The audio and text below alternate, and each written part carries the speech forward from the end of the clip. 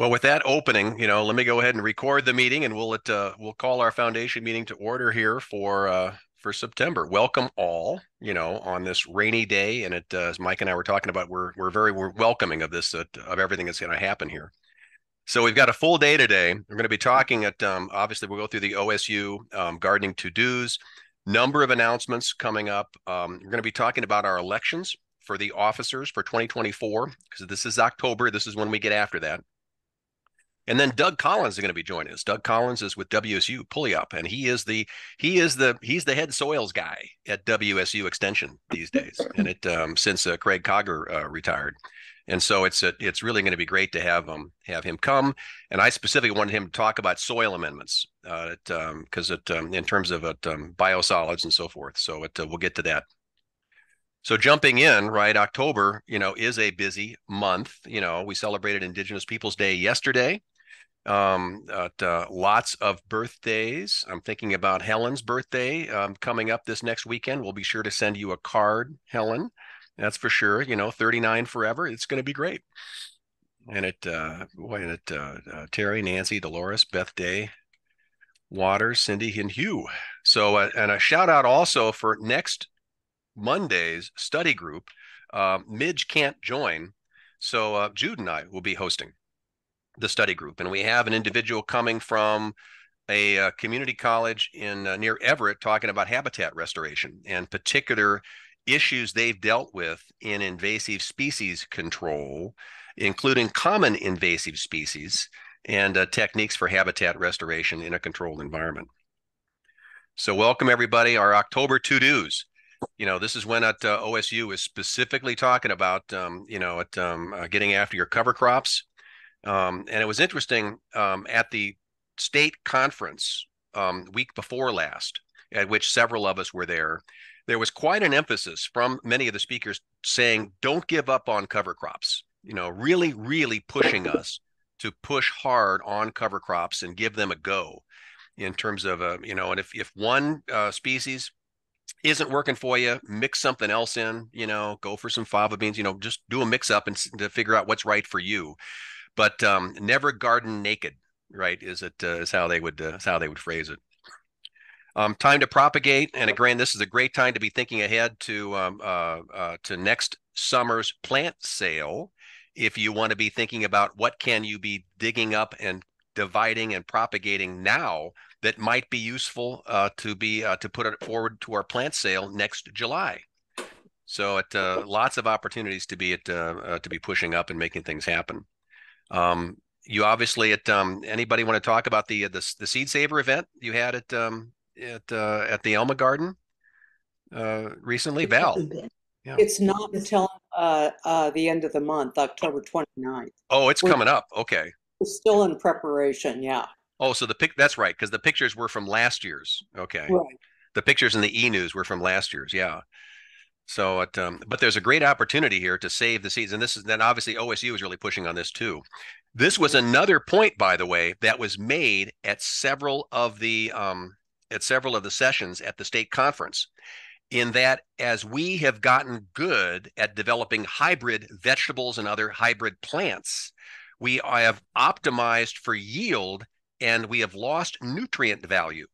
So most of the hybrid seeds that are now being pushed out for vet- major vegetable crops, major uh, grain and vegetable crops, are gaining higher yield, more resistant to pest and such, but they are lower in nutrients than the heirloom varieties of years past. So there's a strong encouragement to think about the varietals that you are putting into your gardens and think about the nutrient value that uh, you want to uh, dig out.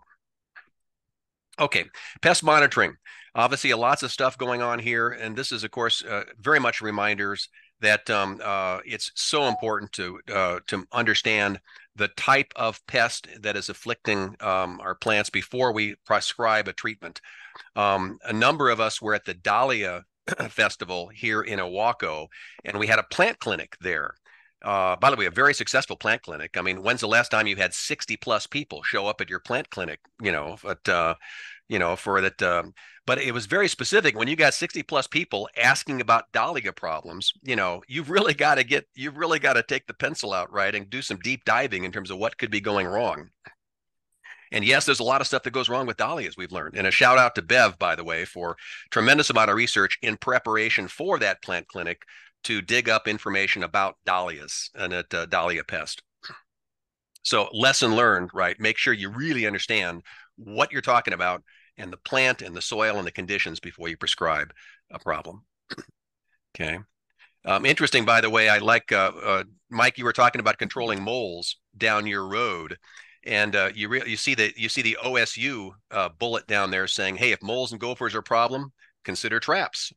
Well, traps are illegal here in Washington State, right? You know, but Mike, I, I, presume you kind of overlooked that that you nuance that little understanding up your private lane there.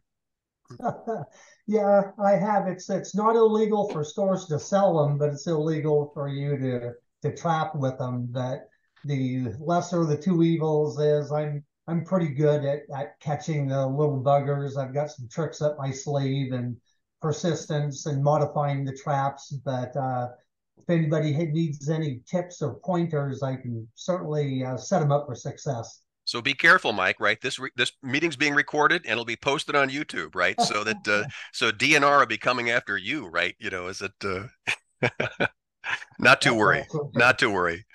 Okay, composting, right? Composting is out to, to you know, in winter prep. It's time to be thinking about these things, obviously um, you know, cleaning, sharpening, and oil too. This is something I I've, I have it bolded here because it's something I never get around to doing as well as I need to be doing. Um, and these, you know, think about all that. Think about everything from your shovels to your um, your garden shears um, to your pruning tools. Right? You know, there's such an opportunity uh, to keep these things sharp and at, uh, in shape. Okay. And then on to um, our officers and on to considerations of it, um, of um, of our of our operations here.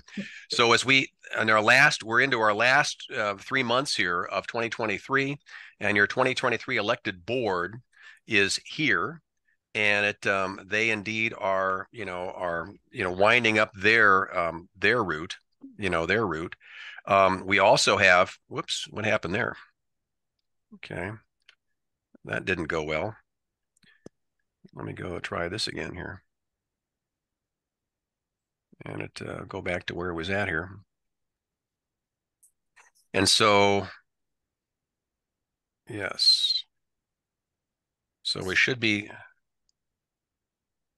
I'm sharing the PowerPoint, right? Yeah. Should be sharing the PowerPoint slideshow right now. Here we go. Okay. So yeah, so reminder of um uh, reminder that Tony is our liaison. Um, an announcement from Tony, I think, is what uh, we're all we're all aware now is that she is retiring at the end of this calendar year. So uh, so she will not be our, our faculty liaison at the end of this year.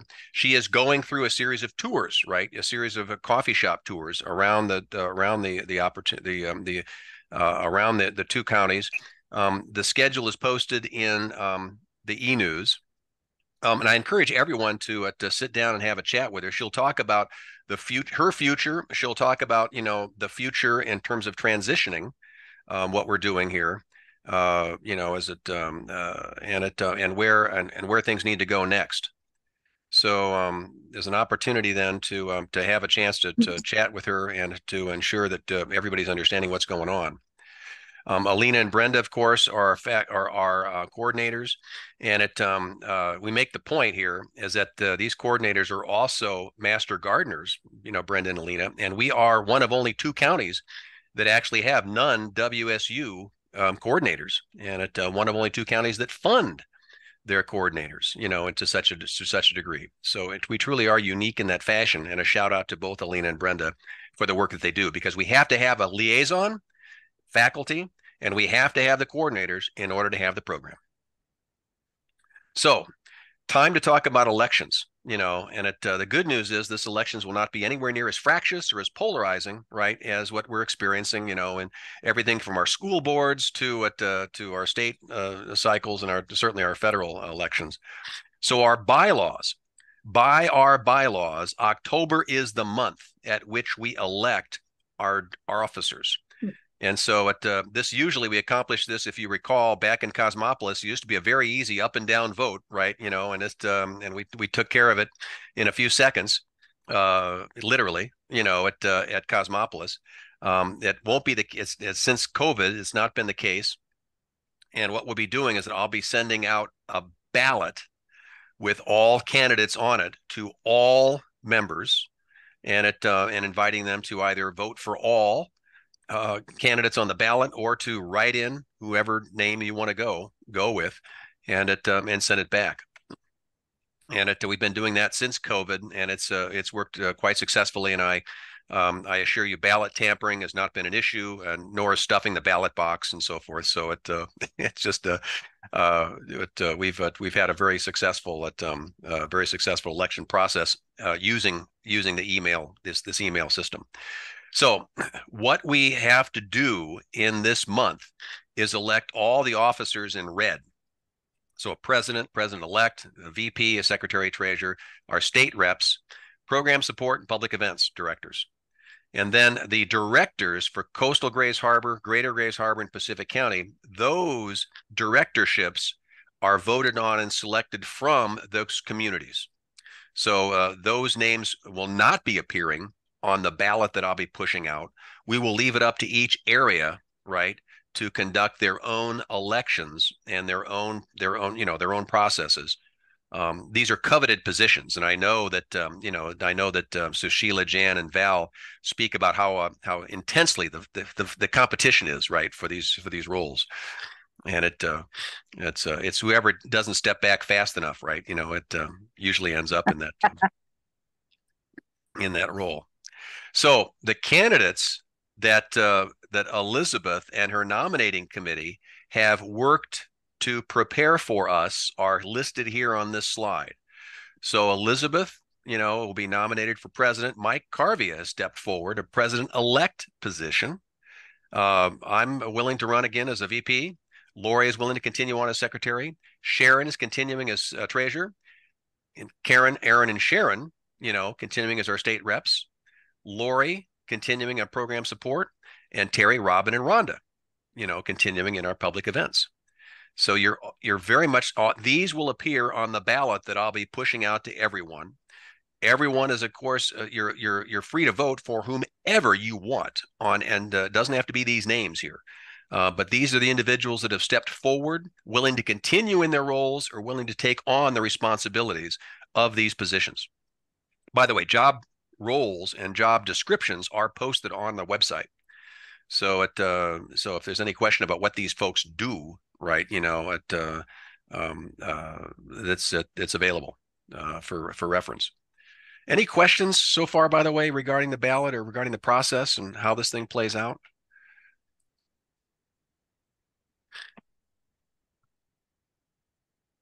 Very good. So this will happen then, and it, um, you know, expect that to come out here. I'll, you know, I just wanted to, I wanted to have today's meeting, but I'll, I'll push it out um, here in the next um, in the next day or so. And so, so the ballot be coming out like this. Um, you either can uh, fill it out and send it back, or just send back, you know, hey, I vote for all candidates, right? And it um, and we'll be done with it. Okay. Okay, time for announcements. Opening it up to folks. What have we got to share? Alina and Brenda, I know you have some things to talk about. Uh, sure. This is Elena.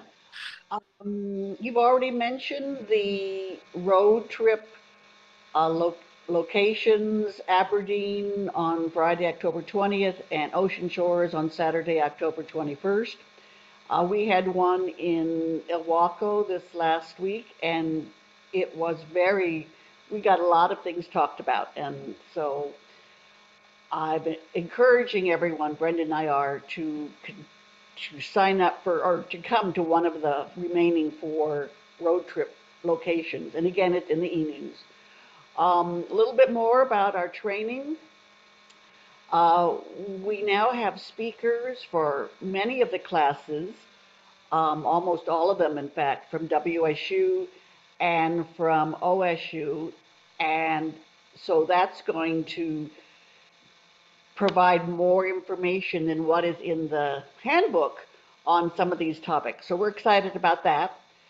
We already have trainees who, people who've applied for the training and have passed the background check. So now we're in constant uh, contact with them.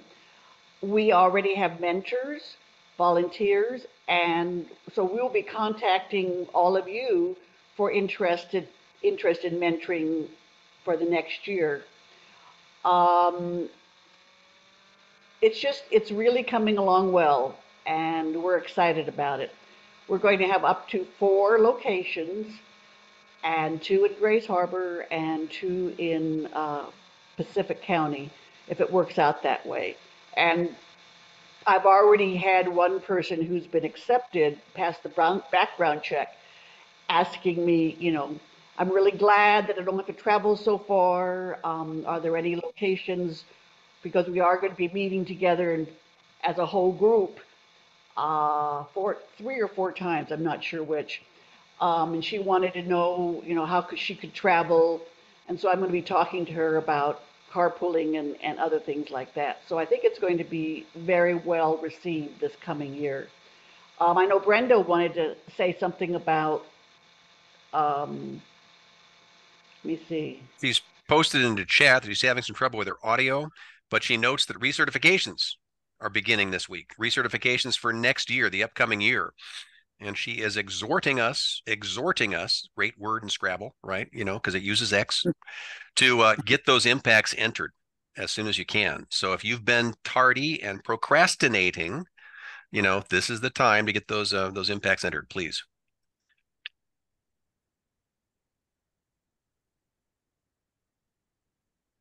Anything else for Alina? How many folks we got signed up uh, to uh, candidates to train for next year?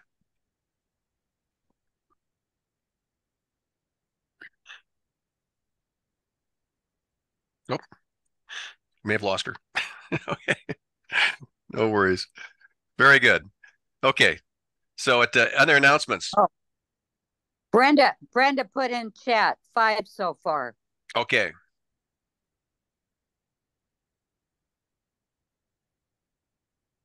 So other announcements. Um, um, Aaron, um, Karen, Sharon, any comments on the state conference just uh, just um, just held? Well, um, it was great. I had some great classes. The hotel was awesome. The food was awesome. Um, and it's probably the last one we'll have. They're talking about never doing it again. Next year, it'll be virtual. And the following year is kind of up in the air. It's very expensive to put on. And um, not a lot of people, not as many as they would hope for, came.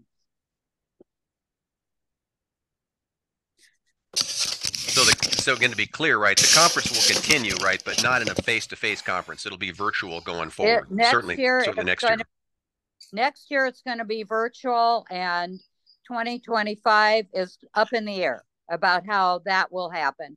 That's something we'll be discussing at the state level. Okay. Aaron, any comments yourself? Um, I was just going to kind of add to what Karen said. Um, we, the state foundation did um, operate. They we lost six to eight thousand dollars on the conference, which was actually significantly better than expected. So, um, yeah, so they're like Karen said, 2024 will be virtual. Beyond that, they're looking at other ways to get together maybe you know because there are so many educational opportunities now we don't necessarily need the education portion of it. Um, but it would be nice to have some sort of a gathering at a state level. Um, so they're just exploring and other options and looking for some out of the box kind of ideas that we can do going forward that will be more cost effective and um, hopefully a lower cost for attendees as well I have to admit, though, is that the um, um, just to, to make sure that everybody knows that um, that uh, the thing that we're going to miss most, of course, is the silent auction and the raffle. Um, and a shout out to Lori Biddle because uh, uh, Lori was able to secure. Uh, she won four raffle items. So I encourage wow. you if, if you want to have uh, Lori pick up your your your your your your your lottery tickets, right? You know, I'd strongly encourage, right? You know, to go in a share Um, we actually had to uh, secure a, a a whole uh, luggage cart to get all of her winnings uh, out. That uh, quite a quite- Wow. yeah. What did you get, Lori? Um, I got, well, one was a nice Japanese pruner, so long handled. That's cool. Um, Okay. and a piece of artwork, a print, and um, a basket of honey items and bee items, and um, oh, a puzzle, one puzzle. I don't gamble either, so this is something. No, so to be clear, I'm I'm sending up money so Lori can buy some lottery tickets for me. So that's Yeah. for sure. It's just obviously working well. Yeah. Hey, so uh, uh, any other announcements regarding the state conference then? So it uh, sounds like stay tuned for what's going to happen in the future. You know, it um, it uh, it was it um, it what it was from an education standpoint. I took I took away a lot. I I valued the sessions and the learning. You know, as always. Hey, uh, Brenda Shar has a question uh, regarding recertification. Specifically, right? Do we have to have our hours into uh, completed by the end of this month or by the end of the year for recertification?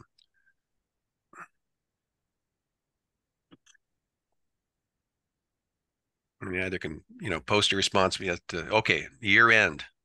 we have all year, so we still got uh, you know two and a half months to to go here to get it all done. So Shar, you can wipe the sweat off your brow. You know, you have time to get it all done. Okay, other announcements. Other announcements. Okay, so again, encouragement to go back to the e-news, a lot of other announcements and other things talking about there. Reminder then that uh, this year, for this year, right, you know, our meetings uh, have been on at um, uh, what we've done is that uh, has been virtual meetings on the first two months of the quarter, and then we've gone to a Saturday meeting on the third month of the quarter. And so the shout out I want to have right now, right, is that um, is that uh, we will, of course, we'll have our virtual meeting coming up on November 14th. That'll be the next month's meeting. And then on Saturday, December 2nd, we'll actually be talking tonight, by the way. We will talk tonight at our board meeting regarding uh, what we want to do regarding a foundation meeting in December. But I want to do a shout out right now for December 2nd. Saturday, December 2nd will be a recognition event. And at uh, that, um, um, Alina, Brenda, I don't know if you want to have any postings or any comments uh, today regarding that. Uh, we expect that to be at the Aberdeen Log Pavilion, and it uh, it'll be a potluck, and it'll be an important recognition because we'll have the the graduation awards for our 2022 class.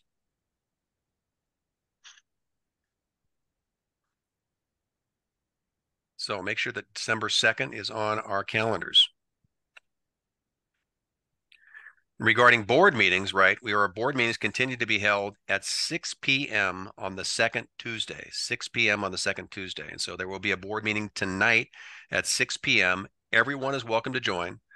Um, you know, and it uh, and part of this uh, the full agenda tonight um, uh, will include discussion about, you know, a December meeting. We'll be talking about when we want to get together for a strategic planning meeting, uh, uh, a strategic planning meeting at which we can determine our budget uh, for next year and at uh, program plans and program priorities for next year.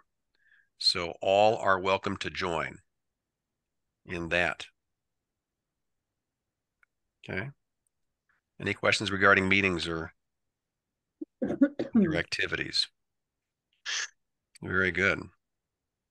So this is again that uh, I always put this slide up again in terms of recording the hours.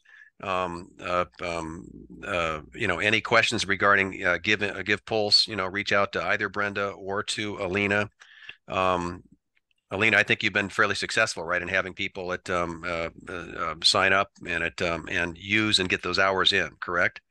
Correct, yes. And, and the couple of people that have called and needed help, I have forwarded the message to Brenda because she's much more savvy now at handling these random problems than I am. I'm pretty much, you know, this is the way you do it. But if you have problems, uh, talk to Brenda. And because Brenda is, I was, I got bumped off, but because Brenda is going to be starting recertifying for people that already have their minimum hours in. Um, I'm upping it to recording the hours a couple times a week. Um, just to make sure that she, you can still continue adding your hours, but for the, the 35 hours that are required for recertification, um, I'm working with Brenda to make sure she has all the people that have completed a minimum of 35 hours. Very good. Okay, very good. Okay. So, And I, I would like to, to give a big thank you to Brenda. This is Karen, who I went down to South Bend and she really helped me and has con- is continuing to help. So anybody that needs help, these coordinators are awesome. There you go. Let that be recorded on our video and pushed out to the world. Yeah.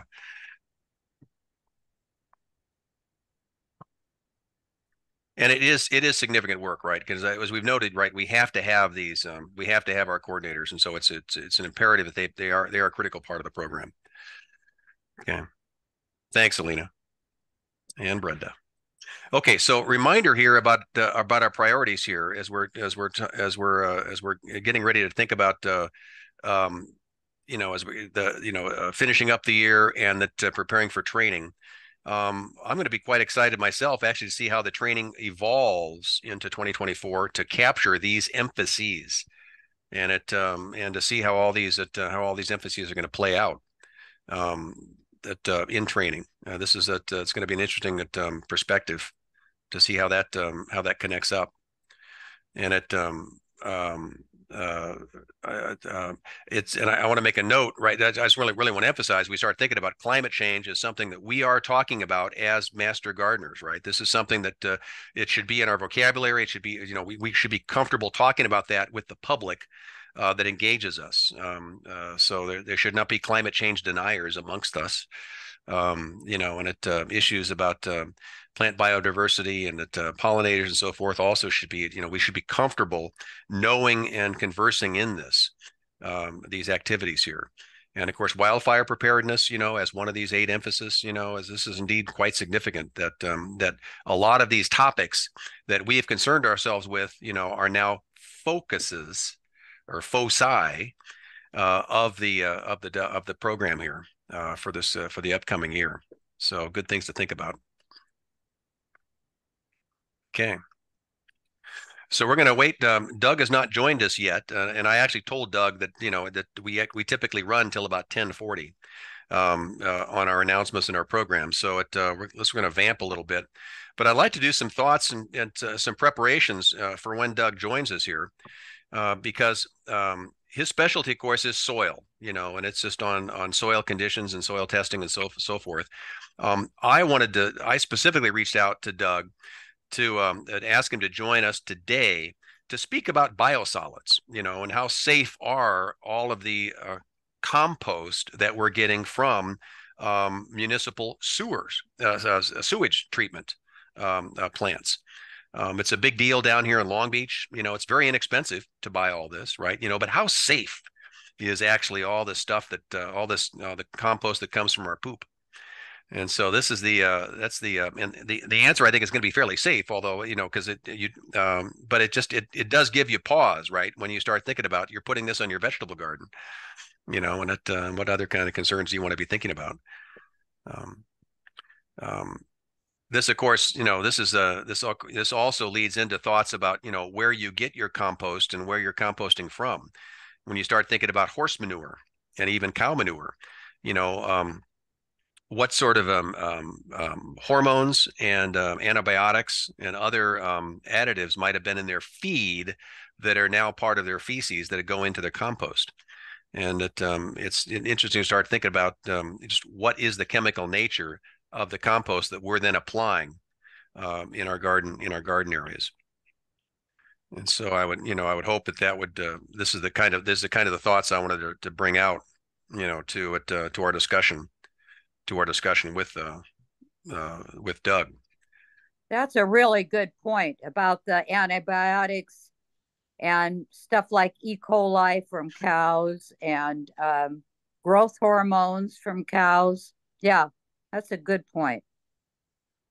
And it, it, it ties a little bit, Karen, back to the discussion at the at one of the sessions I was at the state conference talking about nutrient deficiencies, right? You know, is that the uh, right. uh, so the the seeds and the the plant varietals that we've bred so successfully for yield across the planet have just that's resulted in a change in the chemistry.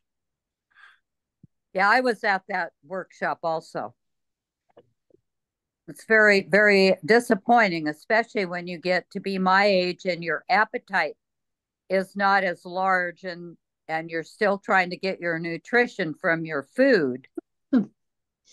so, you know, how are you going to eat more if you don't have room to eat more to get the nutrition? So, yes, that's it's very uh very thought provoking what's Karen referring to is that one of the points that the instructor made is that hey, if you want to get the same amount of nutrients that you were getting, you've got to eat more.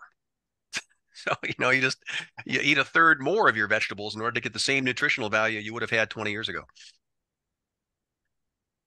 So it doesn't seem like a right you know right answer to a solution. Mike? Kelly, you and I had a discussion about growing tomatoes, and you had educated me about not being able to grow tomatoes in the same location year after year after year. And uh, I, I wasn't quite aware of that. And we were discussing why my tomatoes weren't growing very good. Do you think Doug will cover that uh, part on what, what can I do to uh, allow me to plant tomatoes in the same location next year? Can I do it, or do I have to? You know, like your advice was, you need to relocate for a couple of years. Rotation, yeah, no, that's a good one. Let's let's let's make sure we let's, let's make sure we we push that to Doug. And rotation is is an age old way to get the best yields, Mike. But I was going to, Mike, I was going to uh, come back at you and talk about soil amendments. You know, is it, uh, what, you know, where do you think emu poop is going to rank in terms of it uh, quality at uh, quality compost? Well, first you got to collect it, and I'm not going to collect the emu poop because it's spread out all over the pasture. So where it lays is where it stays.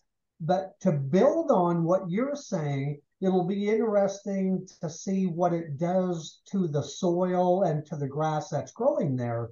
Um, when they defecate, it's kind of like a, a goose poo. It's as greasy as goose poo. And it's a sizable pile, and it absolutely just smothers that spot in the ground. And so I've been kind of taking a look at it when I go out there to see what is going to happen to the pasture. Is it going to uh, is it going to grow? Is it going to benefit, or is it going to stifle the growth? Is it too hot in that one particular location to allow um, growth in that area? And uh, I don't know what to say. I don't know, but I'm not going to collect it, go out and scoop it up and put it in the, in the compost pile. I'm just going to pay attention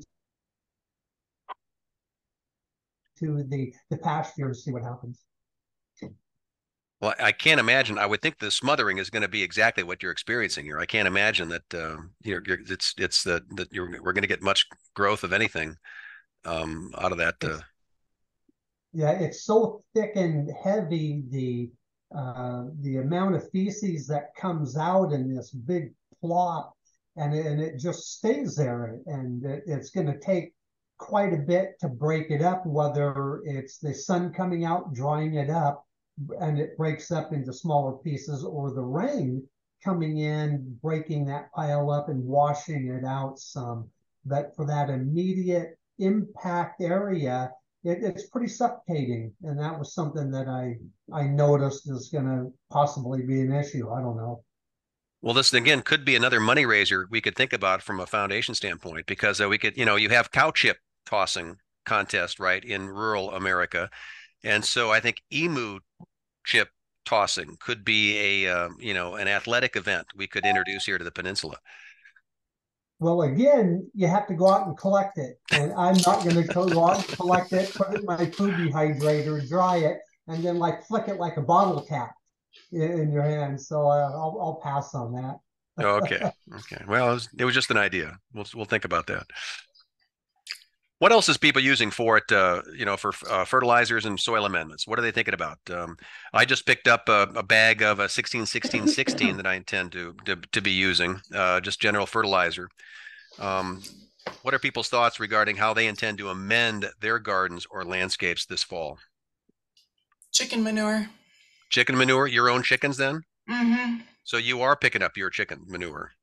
Well, when we clean out the coop or just fertilizing in place, because we move our chickens every week, and they scratch and deposit, and and then one of the best things you can do is run chickens after larger animals because they'll break up that manure and allow it to uh, break down in the soil.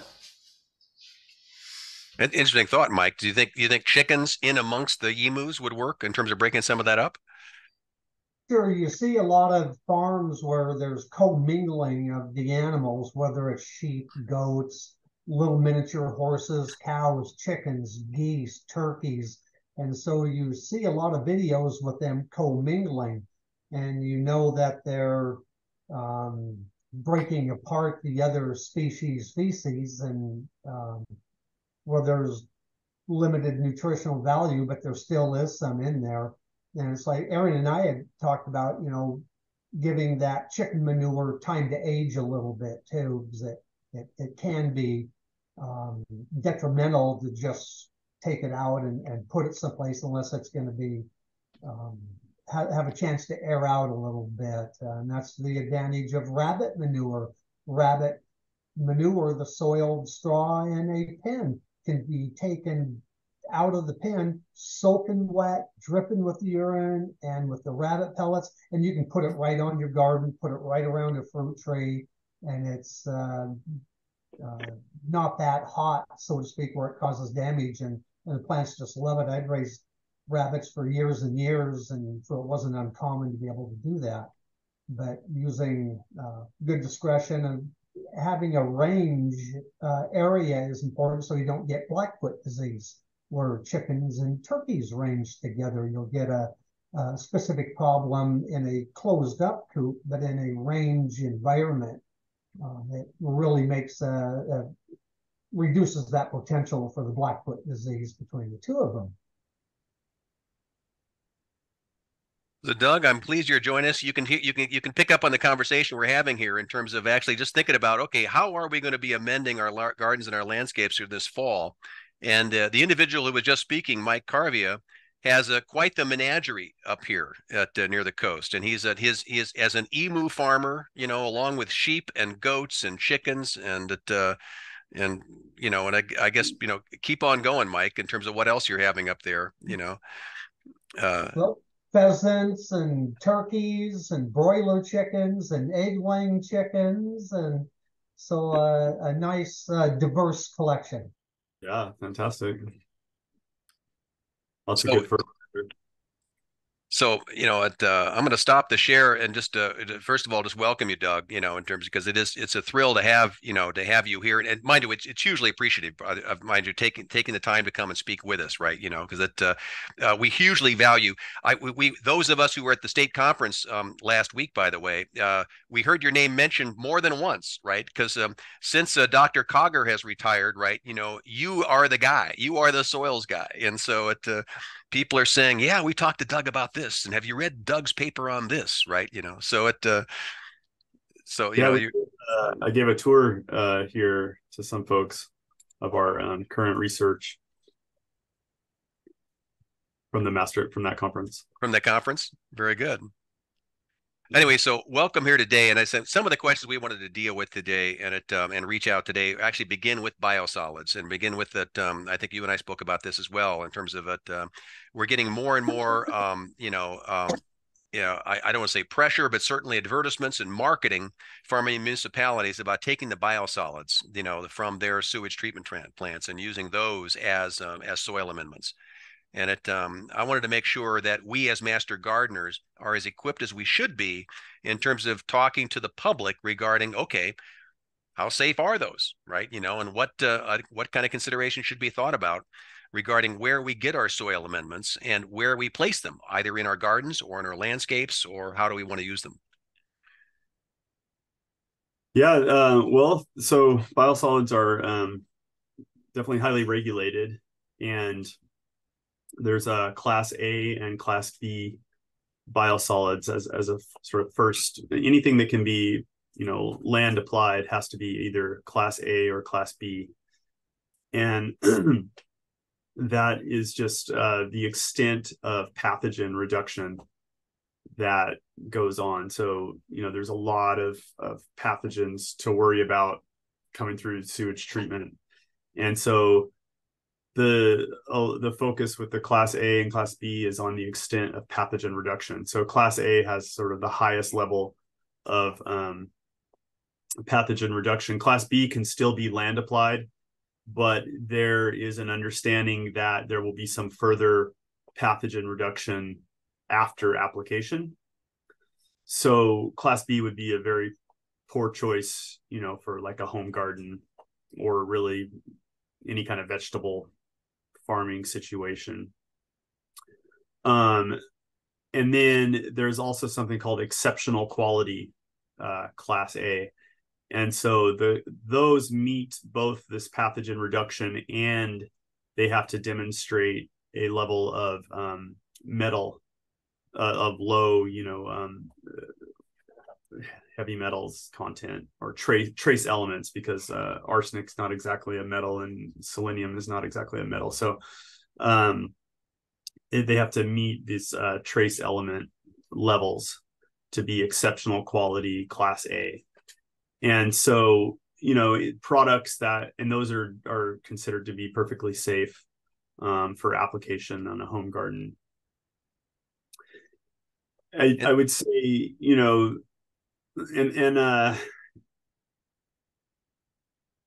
I'm not sure exactly. I mean, this is not my sort of area of expertise and and you know, I know that there's a lot of science underway. So there was a, you know, historically there was a lot of concern around heavy metals and there were um, processes taken to reduce the amount of heavy metals. I looked at some um, data that showed, you know, heavy metals in sewage sludge from 1981 compared to I think it was like you know the late 90s, and there was a huge reduction in heavy metals, and that's that that was due to um, efforts to reduce the metals that are going into that sewage treatment flow, and and so those methods were very effective and the heavy metals were were highly reduced. And and now you know now there's all this testing to make to make sure that they stay um, at this low level.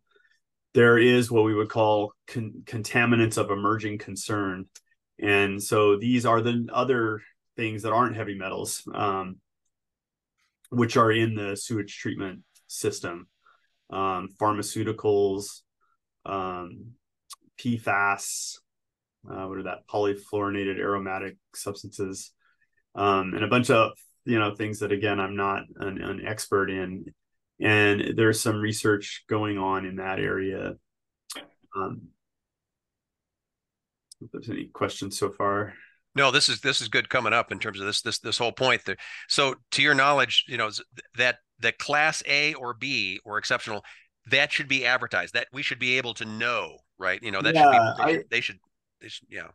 I was poking around a little bit. Uh, Tagro, I didn't. I went to their FAQ site and I thought it would show that, but I'm I would be 99.9% sure that Tagro, for example, is an exceptional quality. Um, and and that they would actually list that. So that that's kind of a it's kind of like an FDA. You, you actually uh, we, we have assurance that if someone's going to post that they are class A or class B, or that they should know what class they are.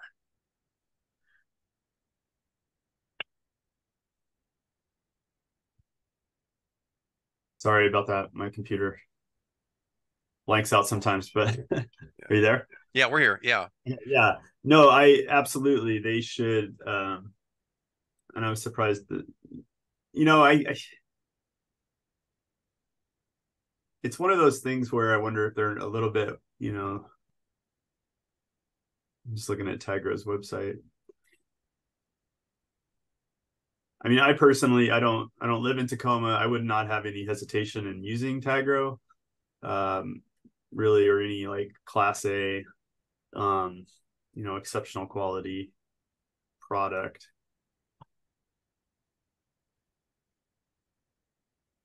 but it's one of the things that we sh- we should be looking for, and we should be expecting that you know if Yeah. you're if you're going to be using a biosolid compost, right, there should be some sort of labeling uh, that's that that uh, and and I, I certainly know from the municipality that that we get uh, compost from, they're actually you know it is you can you have the sheet of the of what of what of the testing, you know, so it, Yeah, well, right. So it's a fantastic source of nutrients.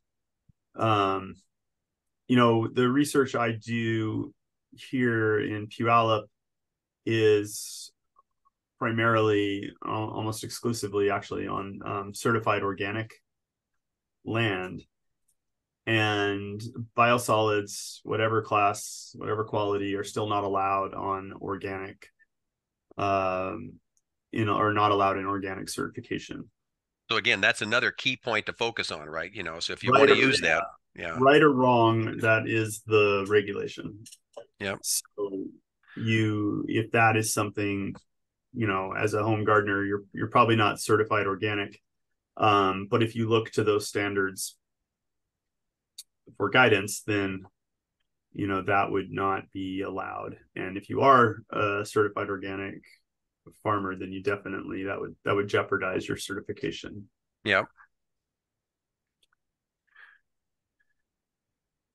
so I don't put it on my soil here for that.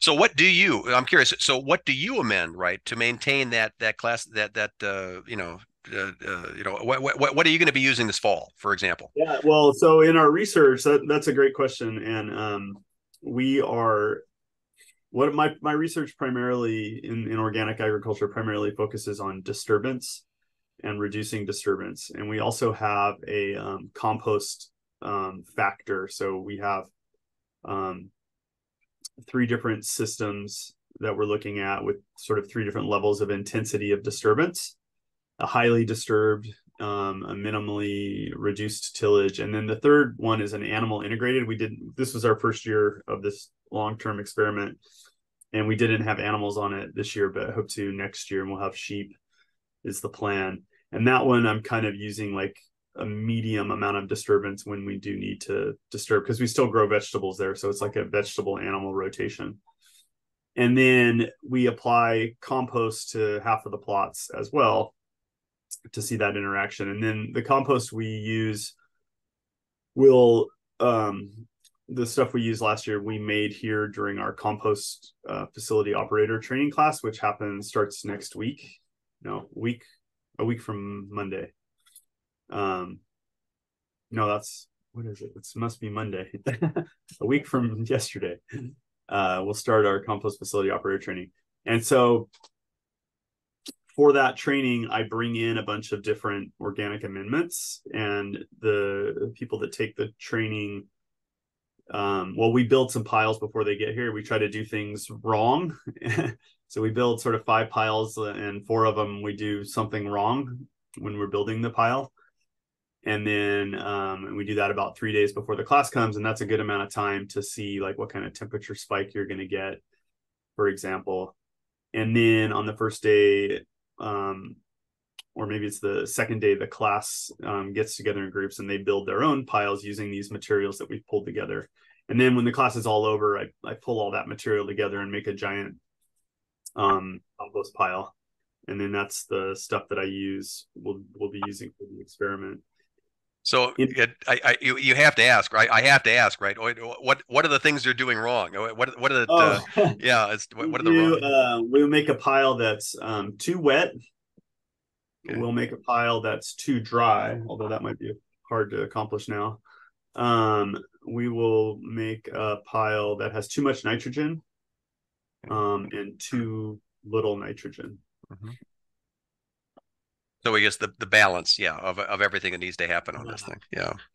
Yeah um, and some of the other you know uh, air porosity is one of the other factors um and so you know to try to make a pile that has too much nitrogen but still has enough porosity you know i think we can accomplish that. We have chicken manure. So the materials we we bring in are um, chicken manure dairy manure, um, fair waste from the Puyallup Fair. Yeah. And then yard waste from um, the Tacoma. Uh, it's called the Compost Factory, I think, but it's owned by a, a different company at this point. Is there an ideal mix when you start thinking about that? So there, I, I can see there's food waste, there's animal waste, right? You know, and there's yard waste. Is there kind of? A, I'm curious. Is there is there a, a, a, your recipe? Is it is there a blend that you Yeah, look for? So in that, in that class, we go through um, something called the compost calculator, um, which is a tool available um, from WSU Extension. And to use the compost calculator, you have to know the carbon to nitrogen ratio and the moisture content of those feedstocks. Um, you know, for most people, I would say that's probably a little um, more sciency than we need to get. Um, you've probably heard some of the golden rules about like a you know a mixture of browns and greens. Yeah.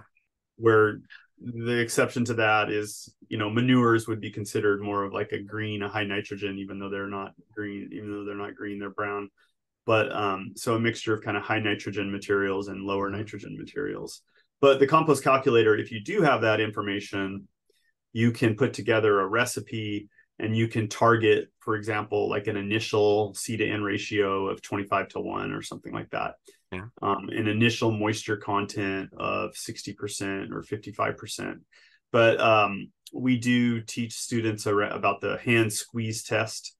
So you can do a, you can squeeze your material as you're mixing it and um, test the moisture um, as you're going along. So the way that works is uh, if it's, I think if it's 60, if it's 60%, you can squeeze really hard and just start to see moisture kind of beating up a little bit. And if it's in the 55 to 60 range, it will definitely leave like a wetness on your hand hmm but it would be hard to get actual moisture out of it if you're like 55 degrees or 55%. And then below that, you know, it doesn't really hold its structure very well if it's very dry.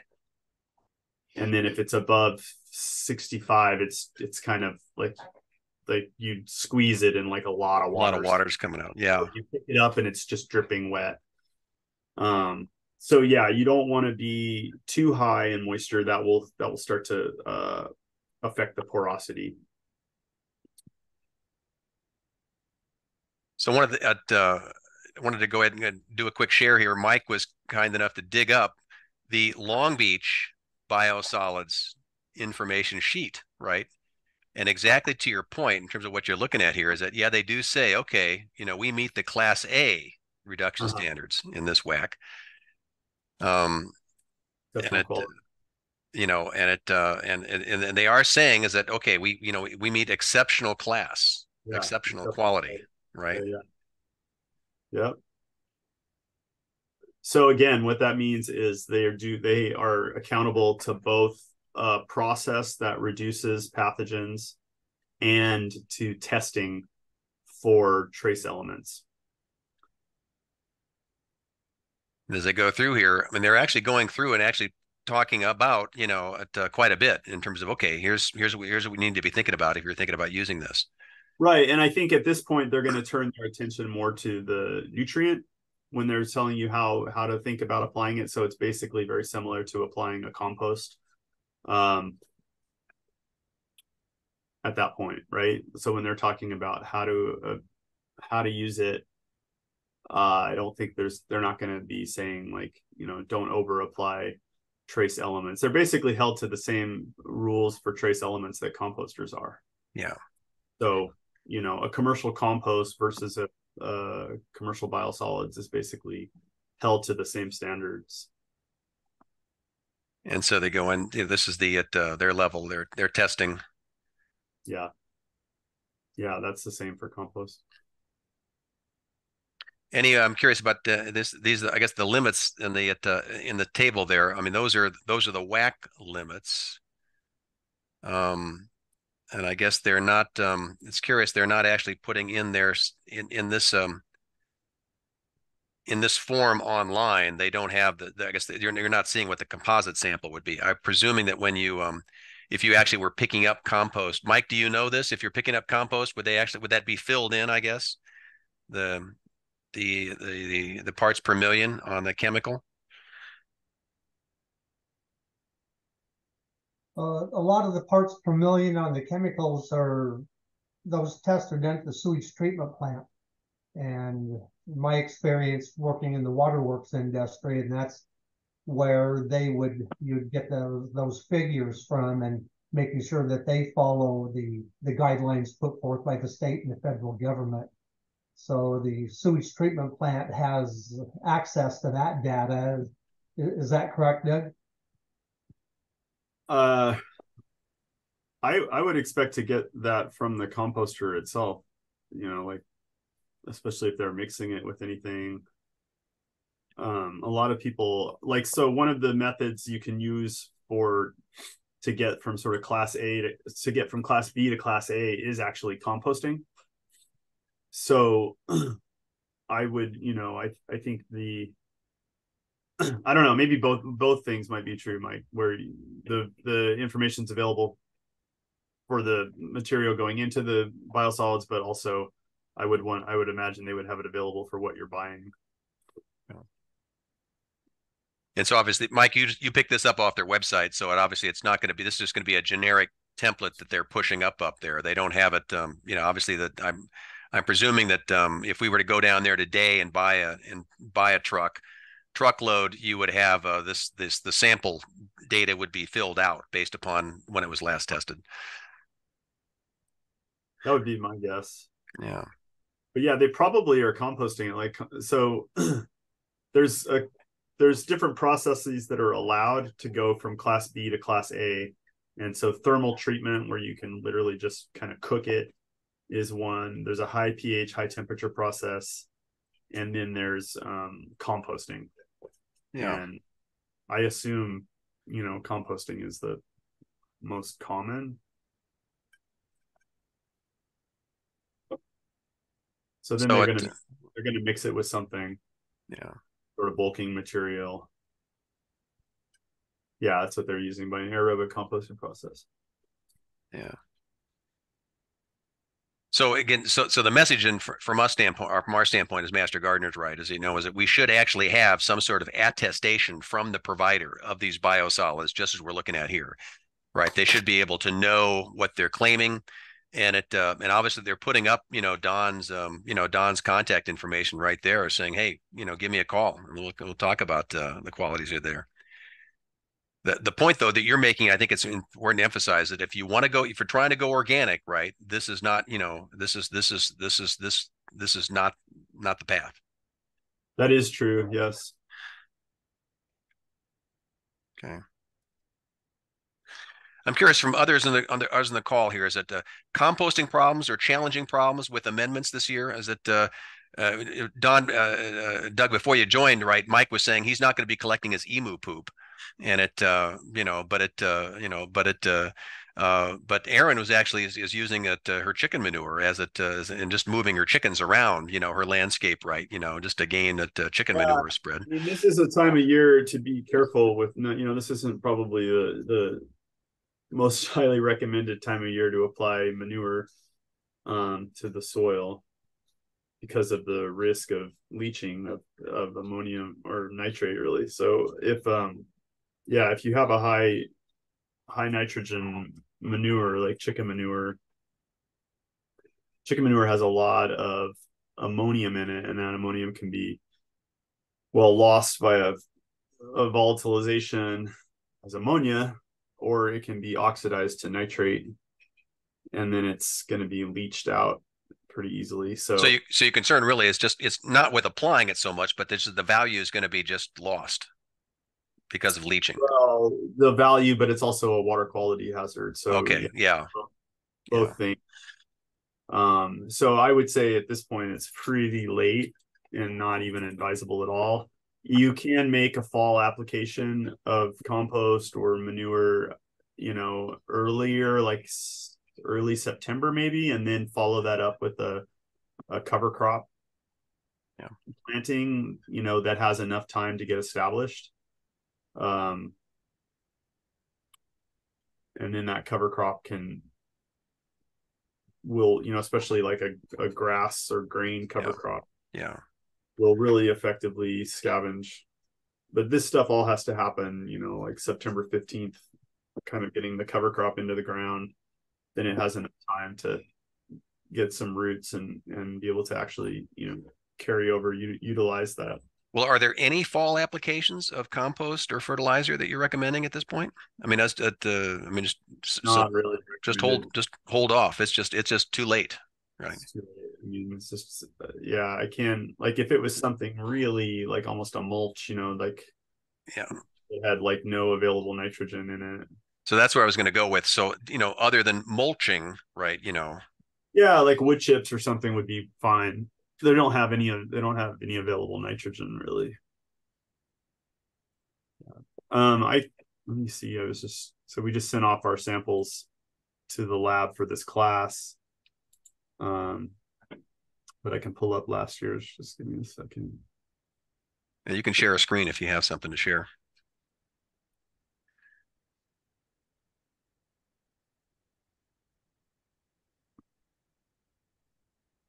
So we were noting that um, at the at the state conference, right, they were making a big push on cover crops, you know, and it um, and a lot of us here in Western Washington were complaining that our cover crops have not been that successful, and we've not had it. We've not been very successful in growing cover crops.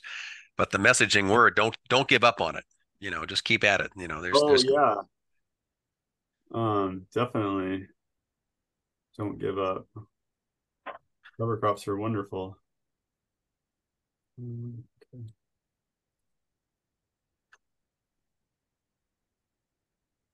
Is there a favorite mix, seed mix, or species mix that uh, that you're finding especially successful here in Western Washington? Our um, let's see. You guys see a fair waste? Yep, we got it. Uh, yeah, I would say you know we use our, our go-to mix is really cereal rye, um, and vetch. Um, I really like Lana vetch, which is it's a woolly pod vetch, but it's pretty much the same thing as a hairy vetch. And the rye, you know, especially as it gets later and later, you know, we we target sort of September 15th for a planting date. Um, and it's really interesting. I've been watching things pretty closely this year because we did a lot of planting like September 15th onward.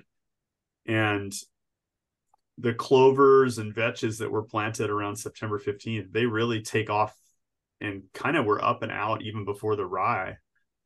And then when I did similar mixes planted around October 1st, it's like you're still looking for the vetch, but the rye's already up. So as it gets later, rye, you know, is is the thing that you might still have some luck with.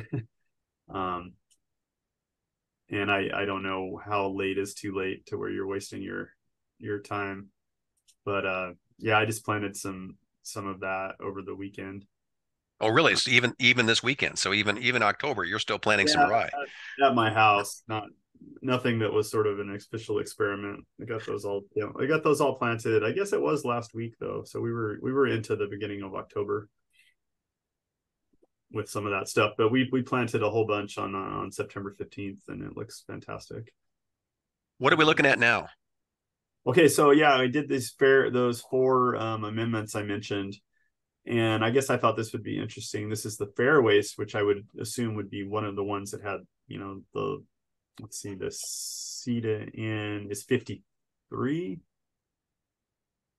So yeah, fifty three we would consider that to be uh, a low nitrogen um, material, but even this material has quite a bit of available uh you know that that ammonium nitrogen that's pretty high so uh, So this is this is tip. You're saying this is the food waste you got from the Puyallup Fair.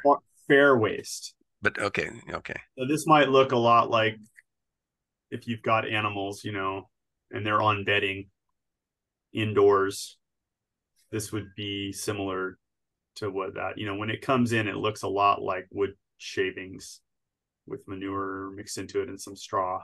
Okay. So you know, on the whole, if you take all that material, dry it, and grind it up, and then analyze the carbon to nitrogen, there's a lot of carbon in there. But I guess my point is there's also a lot of nitrogen that's like readily available. You know, all that in that manure, um, there's quite a bit of readily available.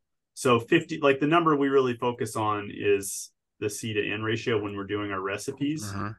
Um, and And so this is this is pretty ripe stuff. This just this just came from the fair. This had this this fair waste had not been composted. That's right. Yeah, and it's very heterogeneous. Uh, this year we we mixed it up quite a bit. Um, Heterogeneous and that that multiple speed uh, cows, sheep, chickens. I mean, it, uh, uh, like this side has a lot of straw in it. This side's got a lot of wood shavings in it. You know that kind of not well mixed. okay. Um, this is dairy manure. So the report looks a little different because it's a manure. I don't know why. But again, a, a much lower C and C to N ratio. Yeah, so lower C to N means um, more nitrogen relative to carbon, but less, you know, even less available ammonium, almost no available nitrate. Is that a general and just in dairy waste? Do you find that uh, to be the case then? Yeah, I mean, dairy waste we don't consider, you know, dairy waste you could pretty much like it's kind of compacted. Um, but if you could mix it with some wood chips or something, it would compost nicely. Like it's pretty, you know, 32 is not a bad starting spot for making compost. It's not going to be super hot, but I imagine it would still get to temperature. Um, especially with like an aerated system. It's going to be a little too dense, like if you just leave Yeah, it by yeah. itself. Um, and then the yard waste. So yeah, you would need a kind of a wood chipper to get this kind of material. So this they bring this to us already chipped. And so this is more than just grass clippings here. Yeah, this has got some wood in it for sure. Probably a decent amount of grass this time of year.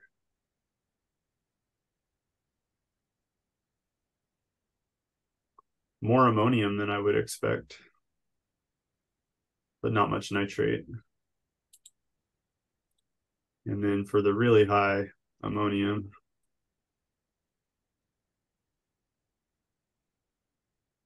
so 8,000. Wow. Where's this? Yeah. What's this? What's this from? chicken manure. This is What? chicken manure from um Wilcox. Oh yeah, yeah.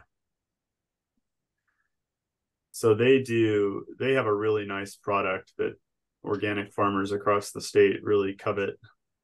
Um, because they don't mix it at all with uh bedding. So a C to N of seven. It's just really crazy. But when you get it though, it's not been composted. It is really this hot. It is, yeah. It is It's, uh, re- really hot. But I guess to your point though, this starts speaking to the quality of of um of um once it is composted, right? You're starting to see this is the this is kind of the characteristics of chicken manure versus steer slash dairy manure. Um, you know, as it uh, in terms of compost elements. What you're starting with is a very different product, very different material. Can you say Well, that again? So what I'm trying to get to here is that you know is it you know is it when I th- when I think about the end product you might buy at the landscape nursery, a chicken manure or a steer manure, right? You know, you're getting a sense that's a that's a that's a you know post composting, but here here now you're getting a good sense of what the pre material is, what the yeah, starting. so the company that we used actually we used a company to go get our um to go pick up this manure for us and they actually sell chicken manure at at the the landscape company and that's not it's not composted i think they mix it with some wood shavings when, so they're getting it in and doing like a little mix but it's not compost so they shouldn't be selling it as you know chicken manure compost but somebody else might sell chicken manure compost i know there's people that sell dairy manure compost And then if Yeah. you know if, if you're calling it compost, um, it better be composted. Okay, Sharon, yeah. Sharon has a question. Yeah, uh, I, I sometimes have used, uh, alfalfa pellets Mhm. mixed in with soil. Is that a good practice? And is there any animal, uh, waste that, that, uh, meets a nitrogen, uh, threshold? So yeah, that to take the second question first, that's why the chicken manure is so coveted by organic farmers uh, around the state because they can get this chicken manure, and um, Wilcox has a process where they dry it out pretty well, um, so it's not you know it's not super wet, and yeah, that man, that material ha- has a lot of nitrogen, and and you can definitely meet the nitrogen requirements um, for any any crop with that material. You know you'd have to do the math about how much you need to apply over how many acres. Um there are we use a lot of it's called feather meal and that's um a product that's 11% nitrogen. Uh that would be in terms of C to N but um it's you know we use that material and because we have a lot of phosphorus already in our soil so we're oftentimes just looking for a product that's high in nitrogen and so a feather meal product we buy is 1100 so 11% nitrogen and, and basically no um, phosphorus and potassium It's called feather or feta? feather Okay, But again, that's a that's the basis of based, based upon your soils, right? Because you have that. It sounds like you've you've you're concerned about Yeah. phos. Yeah. Yeah. So if you, you know, based on a phosphorus test, um, you may want to look for a different fertilizer or, you know, and, and then composts and manures are going to have a lot of phosphorus in them too, which is how, which is why we have so much phosphorus in our soil. It used to be, they used to do a lot of dairy research here. So a lot of dairy manure applied over years, years and years and years. So we have lifetimes of phosphorus in our soil.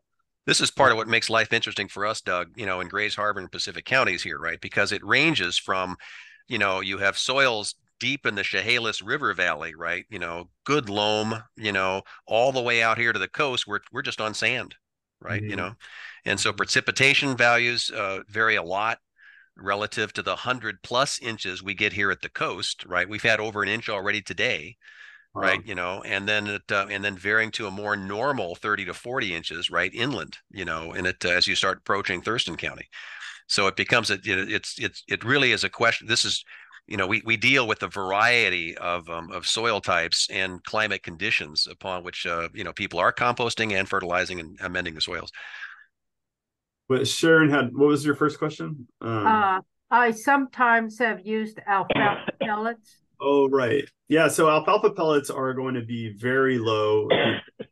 I think about 2% nitrogen. So that feather meal was 11% and alfalfa might be two, two and a half percent.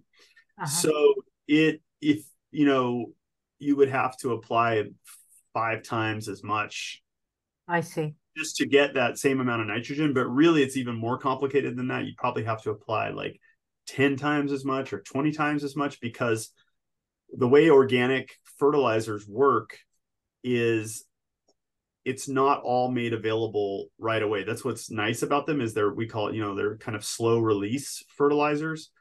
And what determines how quickly and how completely the nitrogen that's in there gets um, made available is the amount you actually start with. So um, when you start with uh, a lower amount of nitrogen, like two and a half percent, then um, probably only about 25% of the nitrogen that's in there is actually going to be made available in the first year. And then um, later, you know, over the you're basically building the soil organic matter. So you're going to get more, like you're going to still that nitrogen might be available more in the second year and third year. I see. So, but with a 1100, like with a, a higher nitrogen, a blood meal or a feather meal, almost all of that nitrogen will be made available um, in the first year. So we usually use about 75% if we're trying to trying to scope that out. But Thank you. Yeah. So it they almost like those blood meals and feather meals almost work like a commercial fertilizer. They're they're so high in nitrogen. Doug, we want to talk about biochar as well, right? Because it, uh, you know, WSU has recently, you know, it's just just in the past couple of years, right, has finally put out, you know, at um, you know, some profiles about biochar and its uh, its ability to be used. And it, um, and of course, people talk about the need to charge the biochar, right, or to compost it prior to using. You know, are there thoughts and reflections, and are there is there any uh, testing and experimentation that you're you're working with under biochar? Yeah, I've done mostly research with uh, co-composting biochar. So we use it as a feedstock in our um, compost research, and that works really well. We we looked we did some research specifically looking at the ability for the biochar to reduce nitrogen loss. So when you do take, for example, like that chicken manure and you try to make compost out of it, you're going to lose quite a bit of nitrogen um, just starting with that much ammonium.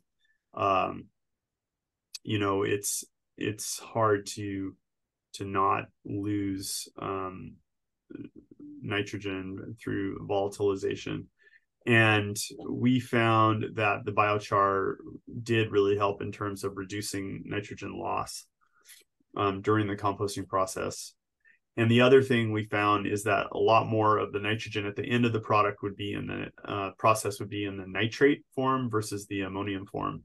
And that uh, probably just has to do with the biochar ability to create more bulk more porosity in the pile um, and you know allowing oxygen to get in there. So oxygen is going to really determine whether you whether nitrogen moves from ammonium to nitrate uh, we say when the ammonium gets oxidized you know that it makes it converts to nitrate and nitrate's a much more stable form of nitrogen uh, in the material. So ammonium is not very stable because it can be lost as ammonia. So that was a good finding. I think uh, in talking to composters, you know, some of them are more interested in taking the biochar and finished compost and kind of mixing them together after the fact. And I don't have any uh, direct experience with that, but I, I do like that idea. I've seen some research where um, biochar was mixed with you know chicken manure or different things and then applied.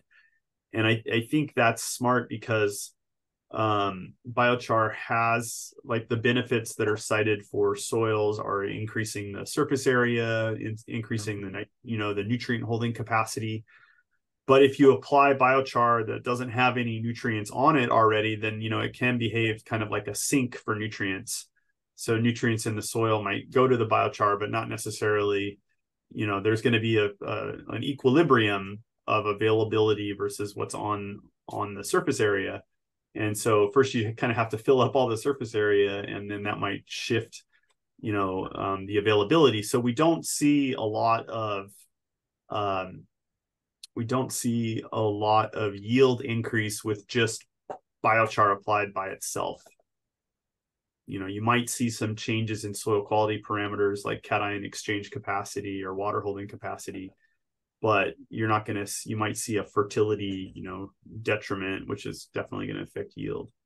So the research where they've taken biochar and mixed it with um, feather or you know chicken manure for example and then applied it they did see some synergy where they you know it was better than the chicken manure alone or the biochar alone and that could be related to that increase in soil health parameters. So, so, so, so that's a key point there is that, you know, is that biochar by itself, right, may actually end up just, you know, taking away nutrients from the plants you're trying to work with. So, you know, mm-hmm. so, so, you know, so, so mix it in with compost, mix it in with manure, right, you know, and that, uh, and then apply that mixture. Yeah. And, um, you know, the benefits, like I said, are, um, well, there's a lot of interest in it for just sort of carbon sequestration. Yep. Um, it is a very stable form of carbon. I, a lot of the new research on soil carbon indicates that you know there isn't really a type of soil organic matter that is um, stable in the soil and, and by stable you know you mean we mean um, it can't be broken down by microorganisms. So, you know, they're like as organic matter enters the soil, the location where that organic matter ends up is more important than sort of this chemical attribute of the of the material itself. So some of organic matter will end up tightly bound on clay clay particles, and that material is kind of protected from microbes, or some of it will end up in aggregates, and that material is protected from microbes until you break up the aggregate.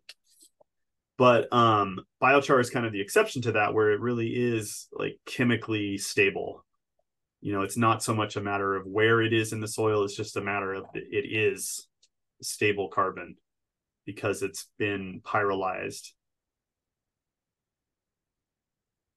are there unique challenges relative to composting and relative to soil amendments you're seeing now than say we've we've seen in in years past I'm curious about are there new challenges perhaps related with climate change perhaps related with yeah, uh, you know, know with the condition yeah like I said, the area that I'm really focused on has to do with tillage, and I'd say that there's more interest and um, concern with tilling.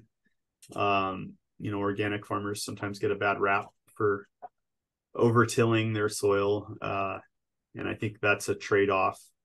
Um, I was talking to some students about this the other day. They were interviewing me about regenerative agriculture and um, I was saying that you know there's uh, one of the great things about the organic program and the certified organic it's given farmers you know uh, something in the market that they can advertise and it's you know there's a very clear set of guidelines and one of the benefits to agriculture as a whole is that conventional farmers have oftentimes looked to what the organic farmers are doing and been like, oh wow, that you know, why wouldn't I do that if it reduces my input costs? So, for example, um, pheromone um, traps or or pheromone di- disruption in uh, apple industry. I think for apple codling moth, you know that that really started as an organic um, treatment, and then the conventional farmers saw that it worked really well, and then they kind of adapted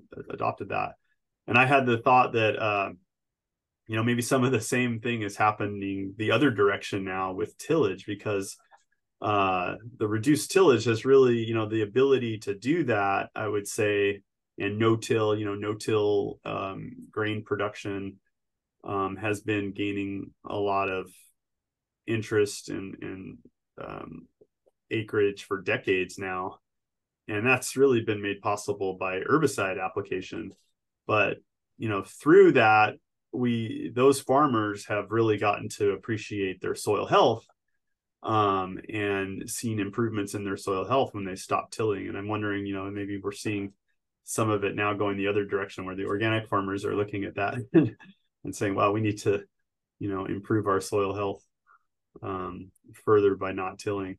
I, it's not that simple because you know most organic farmers are growing lots of cover crops. They're using compost, so they're still getting manure and you know they're still getting organic matter into their soil. And and I think that's one of the interesting kind of research angles is, you know, how much uh like what degree of tillage because there's a difference between kind of lightly disturbing the soil versus like using a moldboard plow and yeah. and turning the soil over. So, um, but yeah, I think that's that's a challenge that a lot of farmers are maybe don't have an answer to right away.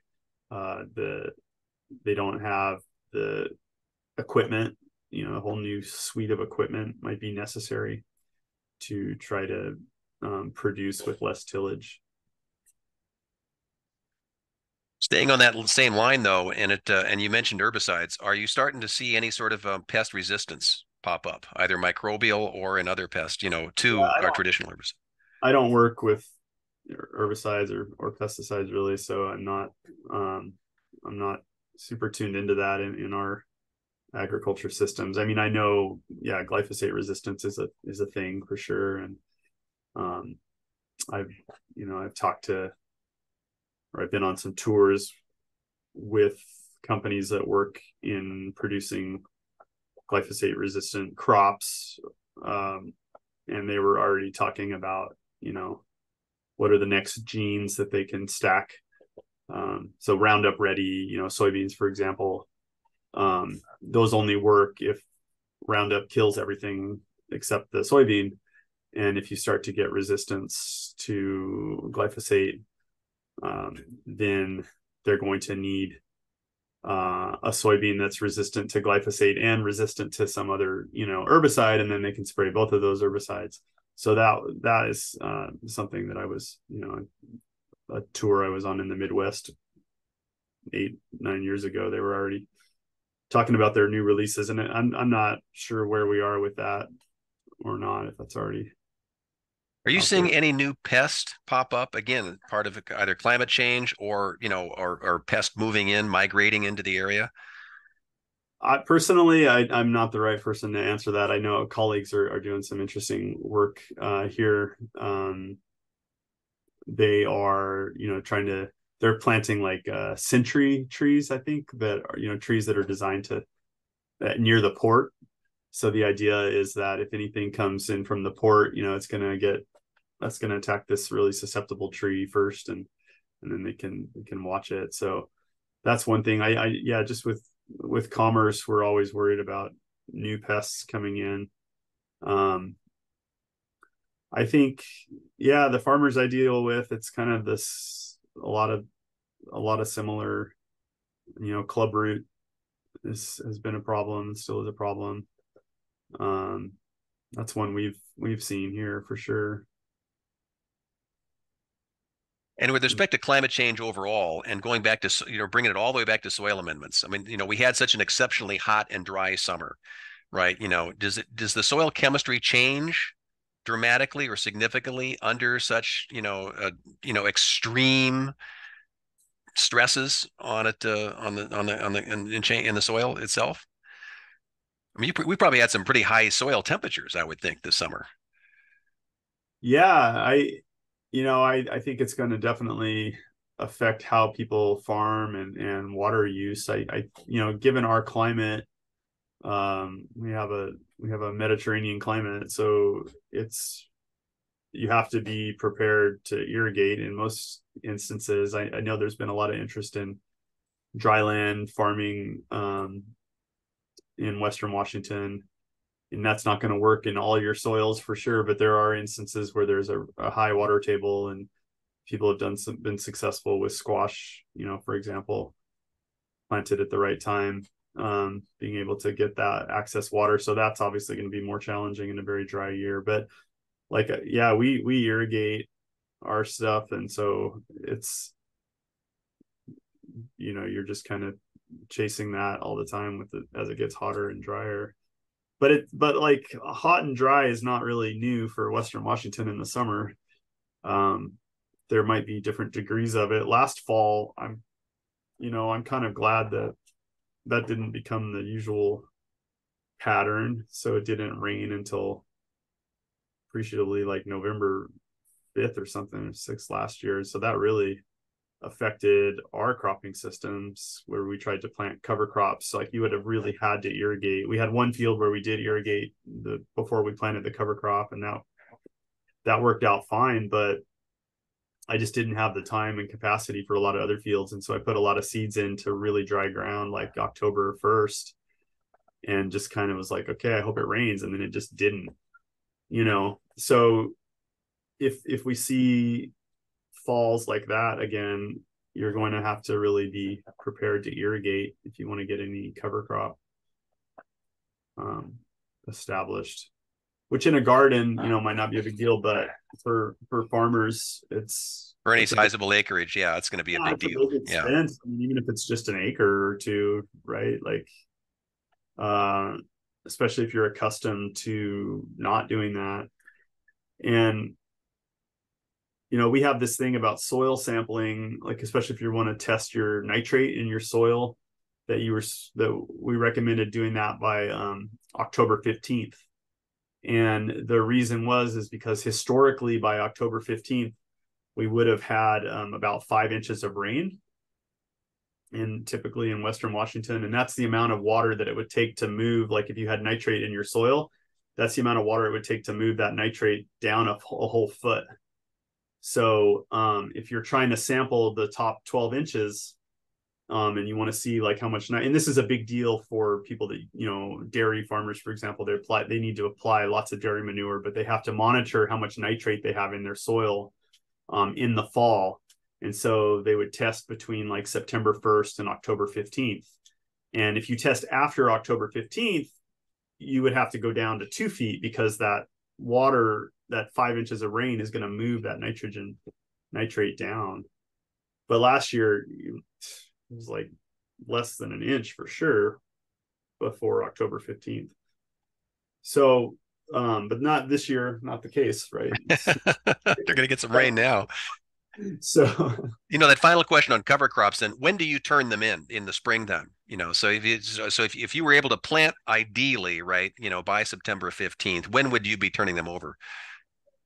That is a great question. And we've done a lot of work looking at um, the uh, different cover crops, especially for reduced tillage. What we're doing is actually trying to terminate the cover crop without turning it in without tilling it. And um, so, in order for that to be effective, we have to wait for the cover crop to flower.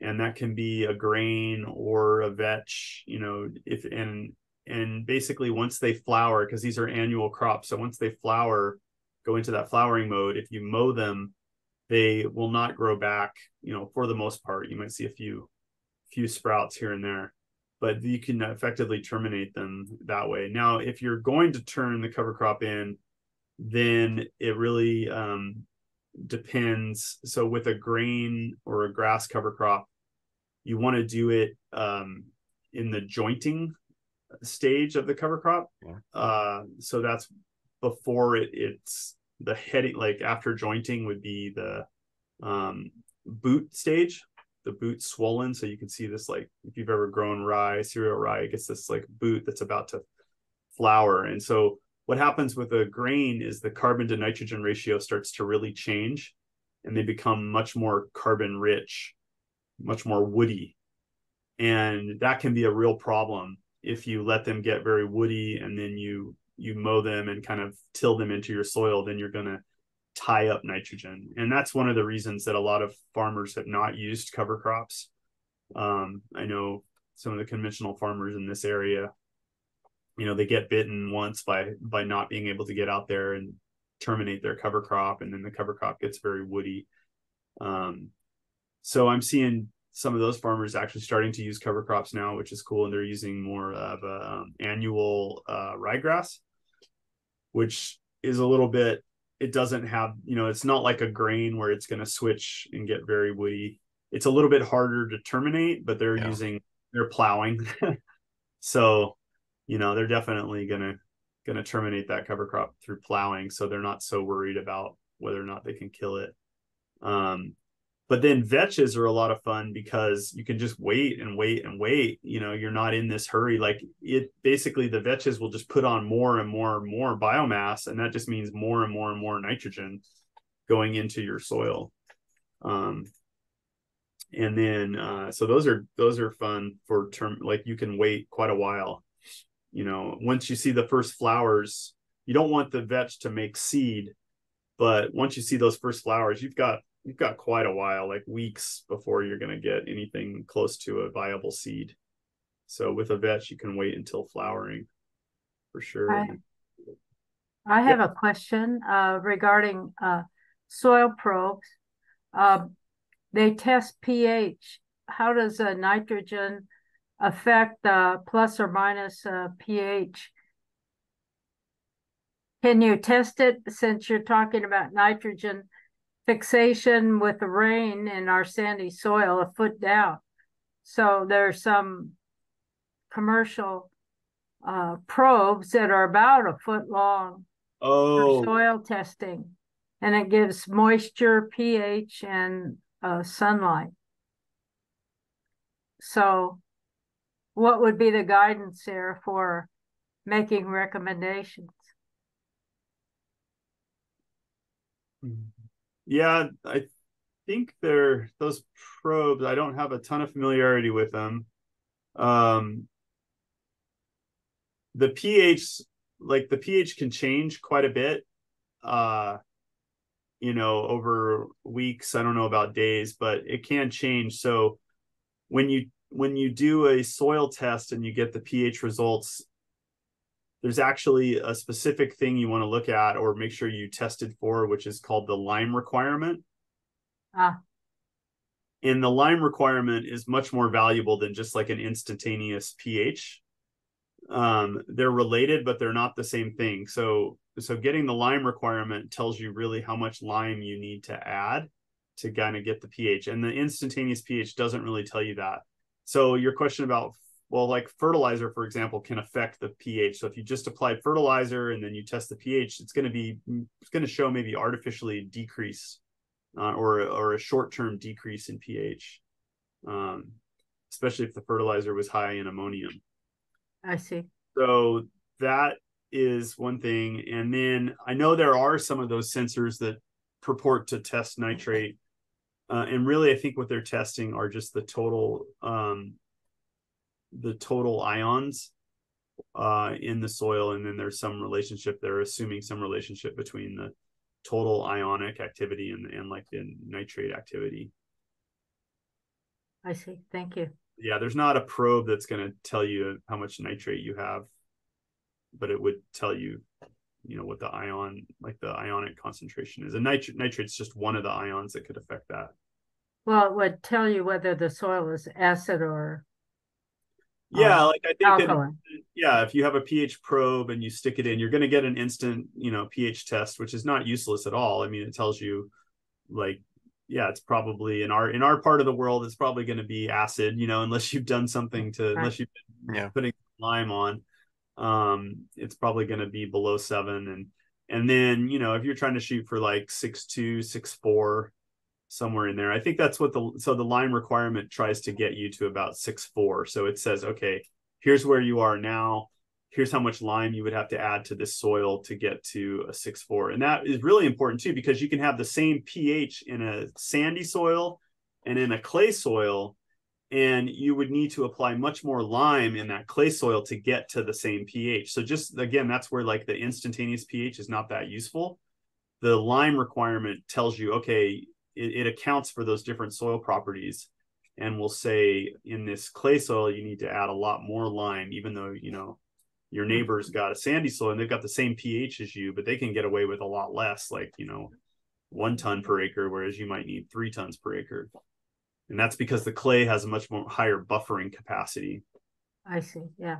Sure. Filters it out. Yeah.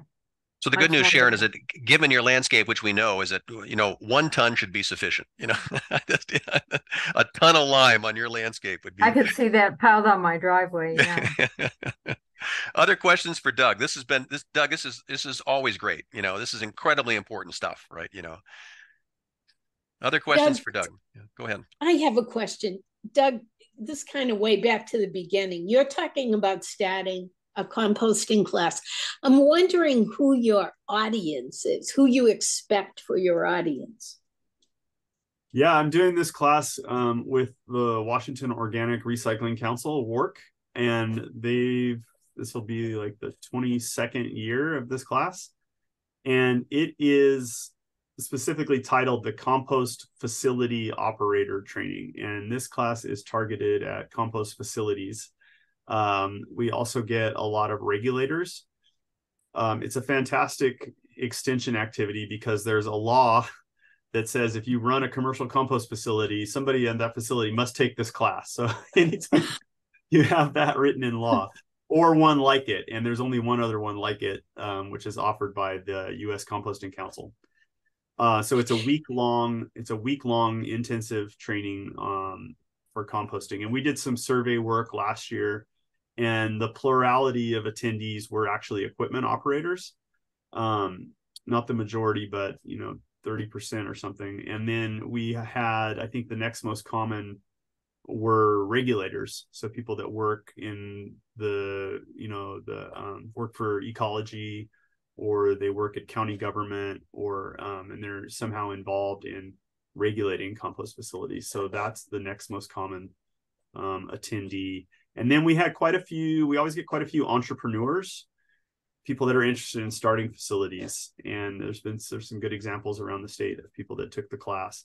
And I think I don't know if you all are familiar with this, but they're calling it I think the organic management law.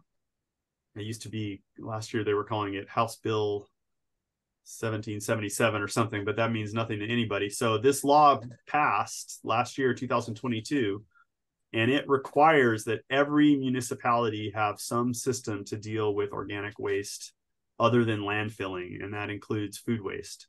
So we're expecting to see, um, you know, a lot more interest in composting at the municipality level. I, I was wondering, actually, my other question was about food waste. I, I get that that didn't come from the fair, but none of your other sources sounded like a food waster.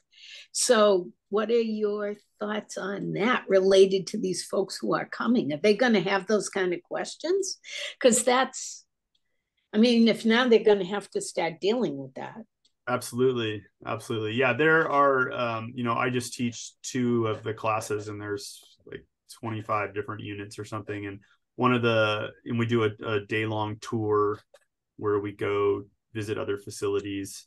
Um, we definitely see food waste at one of those.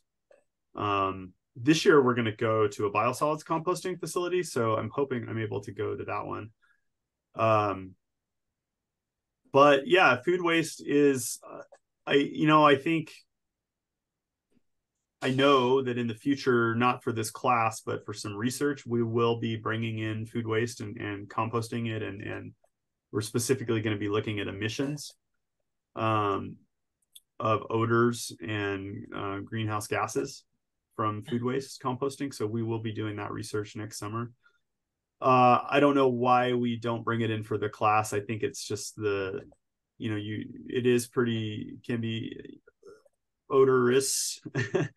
uh, it, yeah, the yard waste we get, they're not. It's not mixed with food waste. So I don't know. Yeah, it, I, you're absolutely right, and and it is something we talk about um, in the class. Um, we just don't bring it bring it in as an example. Okay. Other questions for Just- Doug? Yeah, Mike. Hey Doug, I, I certainly understand as a home gardener, crop rotation is important. I have many raised beds at my place. I'm trying to wrap my head around why tomatoes are such a nutrient pig in the soil and not planting in the same place after year, year after year.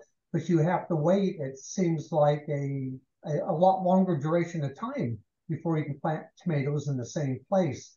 Uh, where the recovery of the soil for nutrients and whatever. Uh, thoughts on the tomato issue? Well, I would say if you're talking um, the nutrient issue, you know, you can always address that with fertilizers. Um, I I see farmers that grow, you know, most farmers are growing tomatoes in hoop houses, and I see them just like year after year after year in the same place. Um, because they're it's not easy to move that you know they're they're not really moving the the hoop house or the greenhouse uh, they're not moving those plastic structures very often or if at all and i've seen them grow tomatoes just you know for many years in a row but so the nutrient element you could you could address that with compost or fertilizer the risk with crop rotation is um, well, yeah, you're. I mean, there's definitely a nutrient component to take into account with crop rotation, uh, where you know you could follow like a heavy feeder with um, follow like a legume or something like that. Um, but the uh, hold on a second.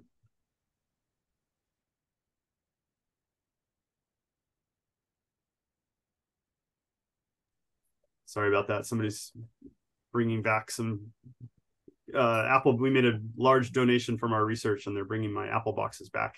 I gotta go get on a forklift. But um, but yeah. So in, when you're when you're planning out a rotation, it's a very good idea to think about like, you know, following a legume, for example, with like a heavy feeder.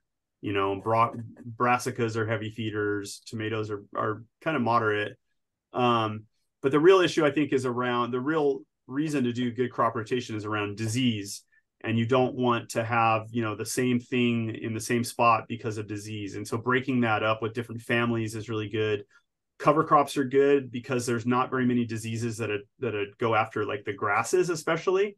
So you know that's where cover crops are beneficial. Like you can put a grass into the rotation. You can also grow you know a winter wheat or something and that would break up um, some of those more familiar um, pest cycles. But but uh, any gra- grasses are really good for kind of breaking breaking up those cycles. So your your point is it's less in terms of the nutrient deficiencies; it's more in terms of the, the pathogens that uh, you know that. Uh, it's that both. There's also the weed. There's also the weed element. You know, if you're on big acreage, like a lot of farmers really, you know, so we grew squash this year. You can you can get good weed control from squash. Um, squash will have a canopy closure point, but then there is like it's a very long season crop. So if you have weeds kind of festering under the canopy, those are really hard to get out. So you you know it can go like the next season you could have high weed pressure if you had seeds that you know weeds that went to seed. Um, other things you might be able to keep more clean, like uh, some of the brassicas. It's maybe a little bit easier to keep them clean, and then there are shorter season crops, so you just don't get any weeds that go to seed. So the next year you might have less pressure, right? In whatever it is you follow that. So it's like fertility, weeds, and disease. Like you got to kind of try to keep all those into your mind together um, when you're trying to pull together a rotation. But I think the biggest one is probably disease. Um, being preventative with disease, you know, if you do have a good rotation, you're less likely to to get disease um, in your in your soil. And I'm sorry, I probably should. Doug, yeah, thank you so very much for this time here. Again, for you being available and for you being able to describe all of this complex science in common, you know, in common language, right? So again, this is this is incredibly uh, valuable to us in our mission as we reach out to the public here. Great, keep up the good work. Yeah, I love Master Gardeners. hey, right, thanks thank everyone. You know, thank you, Doug.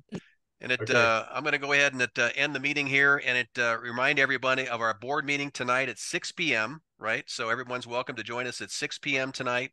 Look for the, um, uh, you know, look for the, um, uh, the the URLs are posted in e-news. Okay. And we'll see you this evening.